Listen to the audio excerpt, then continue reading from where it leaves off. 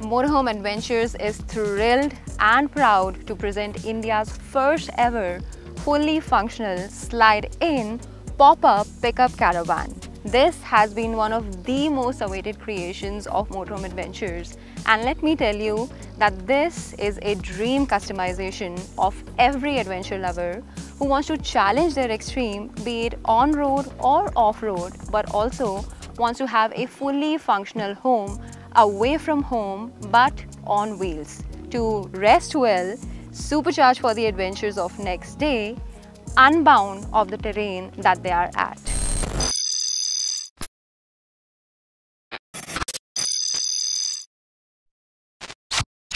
Hello adventure lovers and welcome to a brand new episode of a walk through the conversion.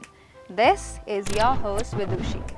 If you're new here, Motorhome Adventures is a 25 plus year old company that rents and builds all things home on wheels and more, ranging from a club on wheels to election campaign vehicle to food truck and of course caravans, motorhomes, RVs.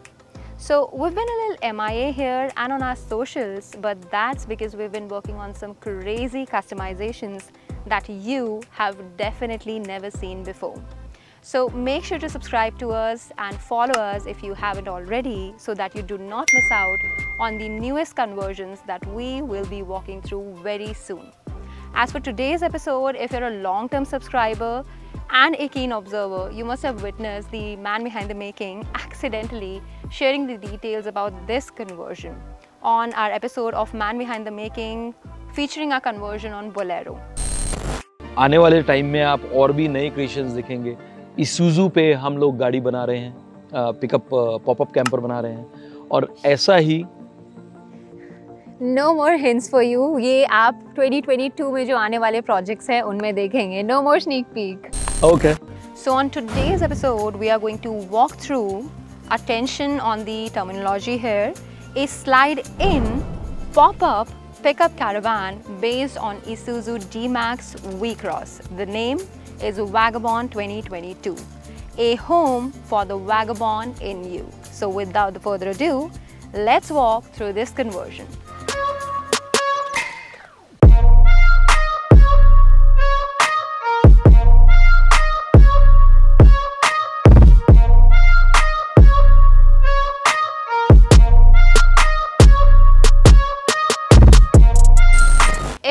An article containing specifications of the base vehicle will be linked in the description box below. And as I've mentioned, we've used a four-wheel drive vehicle here, but you can use any asset. It can be a Tata Yodha, hint hint, a Bolero or the newly launched Hilux. Now little rundown, we are going to begin with the exterior, then talk about the technical elements of how we got this baby up top and then move to the interior. So if you want to skip to the interior, which you should not because this is the fun part, but still if you want to miss the fun part, then the timestamps will be mentioned in the description box below as well. First up, we have the exterior shell. The wet weight is approximately 600 kilos. It's painted in metallic black, which is similar to the base vehicle. And it's also giving Vagabond 2022 a tough look. But tough is definitely not enough. We also wanted to make it as lightweight as possible, which is why the complete shell is based out of alloys. We've used the 6003 series, which is the aluminum alloy used especially for the purpose of automotive craftsmanship, etc. So people in the comments saying that our conversions are exorbitant and the other conversions that you've seen on web in India are not, maybe you should consider why. Moving on, we said that this is a slide-in asset.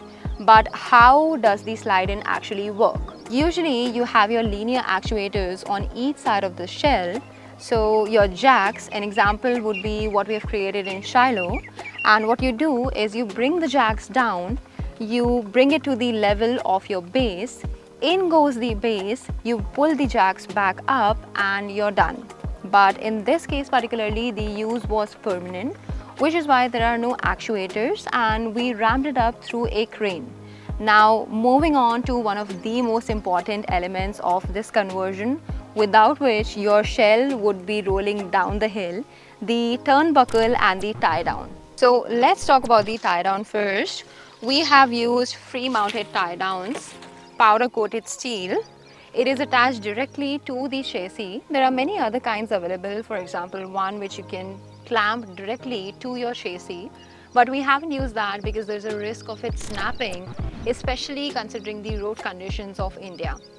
Hooked to it is the turnbuckle with the supporting chain and the pin which secures your shell to the base. Now in many countries these are available on a ready-made basis but here at Motorhome Adventures we custom build them according to the specifications of the asset which is where the customization cost goes up. Moving on here we have our dampers which are there more so so that your shell does not hit your truck when you're on a bumpy road. Speaking of bumpy roads, another upgrade that we have added to the existing base is that we have provided two air balloons, each of which can take a payload of up to 2 ton.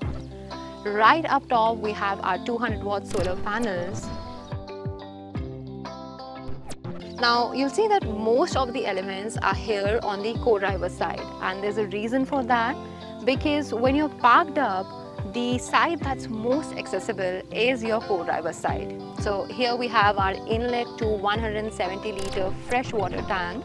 It's based out of aluminium and it has been placed right on the center to maintain the core of gravity. This here is our power hookup.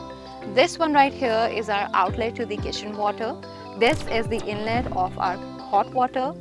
This is the inlet to our cold water and this one right here is the inlet to our city water. Now you must be saying Vidushi what is city water?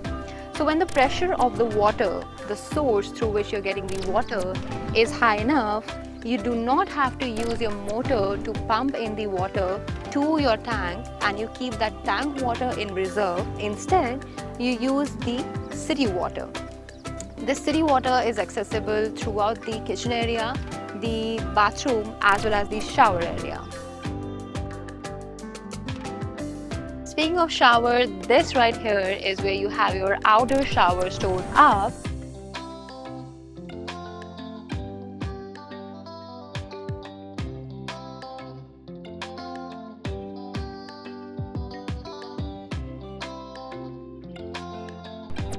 And ladies, don't you worry, you too can enjoy an outdoor shower with the help of Motorhome Adventures' very own 270 degree awning aka octopus awning aka batwing awning with an annex room.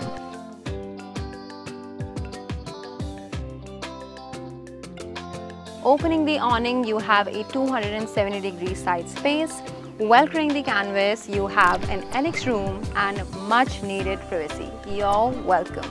Now moving to the rear exterior, we have our tail light, we have a camping light, we also have a provision of hanging our gas geyser as well as a rear parking camera. Adjacent to the entryway door, we have our grab handle, underneath which we have our bifold swivelable staircase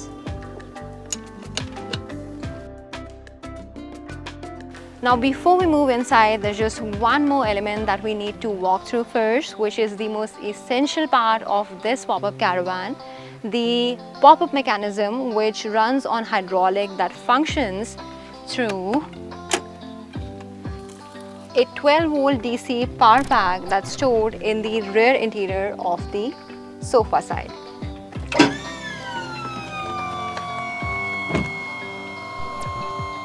The canvas material that we have used is high grade. It's mostly used in making parachutes. So we have three layers, the outermost being the mosquito net, the middle one being the transparent layer, and the innermost being the blackout blinds. Now, I promise this is the last feature of the exterior. It's more so an extension of the same canvas material. It's the rain sheet that you pull out so that the water doesn't enter the interior when you have popped the top and you place it in and then in we go. When your truck is running, you have approximately 4.6 feet of height and 6 feet of width. But when you open the pop top, you have approximately 6 feet of ceiling height. Look at how much space we have in here. Now we have the similar kind of quilting as we have in the sofa and the bedding area. We've intentionally provided these velcros so that when you're traveling to a wintry location, you can simply add a thermal layer. There are multiple pockets.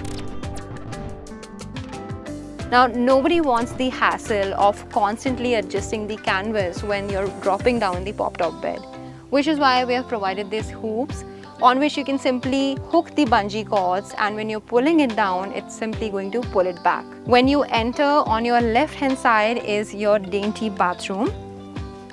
So it's the similar technology, reinforced fiber paneling and we have a detailed video on this. If you want to check it out, the video will be linked in the description box or somewhere right here. So in this one, we have created a foldable sink.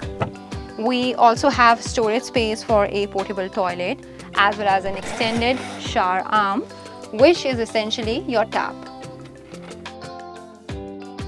Adjacent to our bathroom space is our kitchen area with a two top burner FRP sink, a customized 12 volt DC battery operated fridge, we have storage under here, we have our control panel, USB charging sockets, we have our music system and a cutout.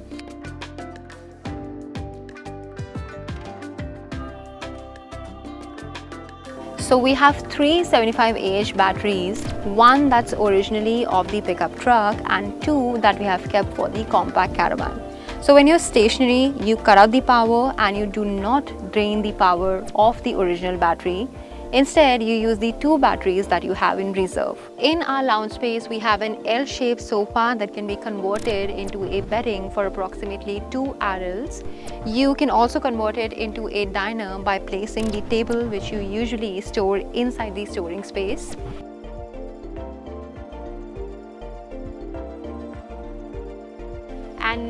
We're on the last feature of this pop-up caravan the pop-up bed which is approximately six feet wide six and a half feet tall and 28 inches which is somewhat 2.3 inches in terms of height.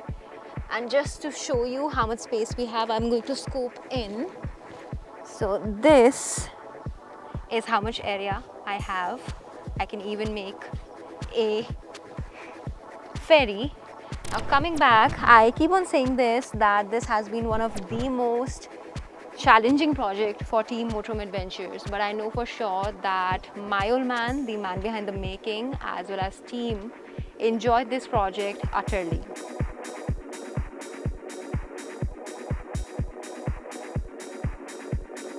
And on that note, I'll touch base on four W's and one edge of this concept. So the first W is why. Why was this asset created?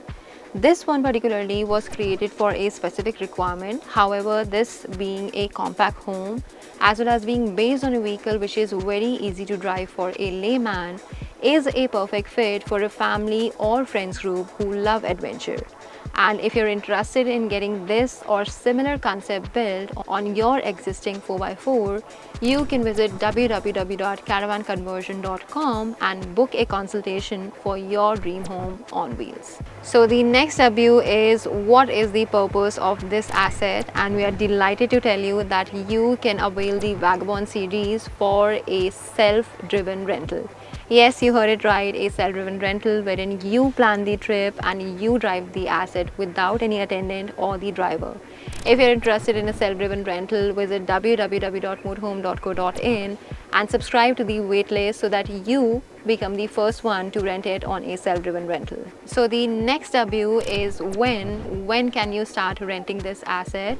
So we're currently in the works of establishing the self-driven rental norms and whatnot but as I mentioned you can sign our waitlist to be the first person and get your dream home on wheels built right now. So the next W is where, where exactly will you be able to rent the Vagabond series from and this is for both our self as well as chauffeur driven rental. You can rent it from any part of the country or from parts of Tibet, Nepal and Bhutan but because our headquarters is based up in Delhi, our home base is Delhi, these services are charged from ex-Delhi basis. As for building, the building headquarters also is based up at Delhi.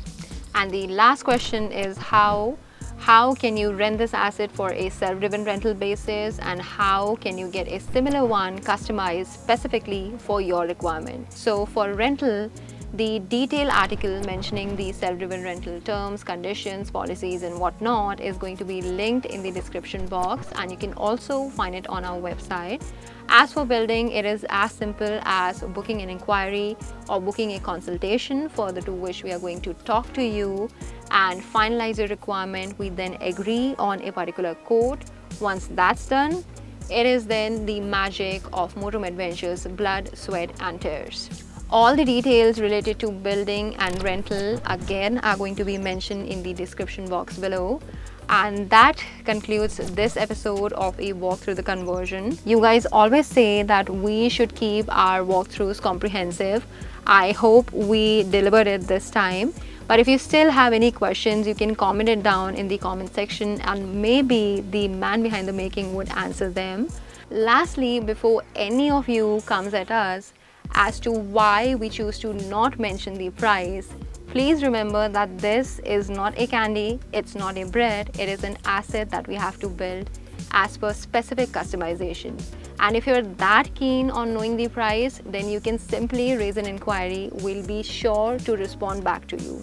I hope you liked this video and if you did, give this video a thumbs up and subscribe to our channel for we will be posting many more crazy and fun customization on the home away Home on wheels. Thank you so much for coming by. Motorhome Adventures signing off.